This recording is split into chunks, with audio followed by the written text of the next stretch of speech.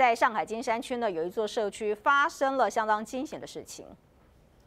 第一次尝试的时候，就是也是距离不够，然后第二次就是随手拿了个塑料凳，然后就就踩在上面，距离刚好。我经常抱小孩，抱我家儿子，我就知道有多大的重量，然后，我就我一只手能够抱得住，我觉得是有一定把握的。当天早上八点左右，这是一名四岁女童被困在六楼高的窗外，旁边的邻居发现之后，随即踩在塑胶椅上，救出在窗外摇摇欲坠的女孩。英勇的举动受到网友一片的赞赏。